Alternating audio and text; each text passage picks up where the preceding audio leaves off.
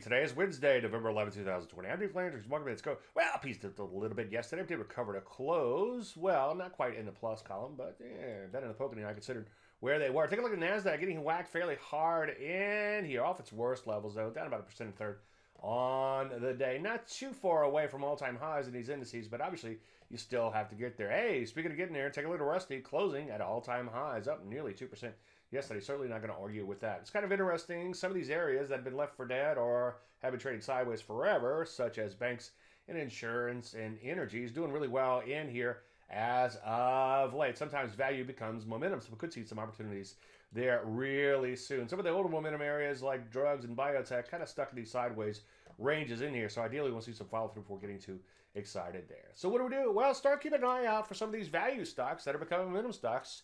And as usual, wait for entries, wait for setups, and once you get in, honor your stops just in case. Any questions? Dave at. I'm Dave Landry, and you start to Market Minute.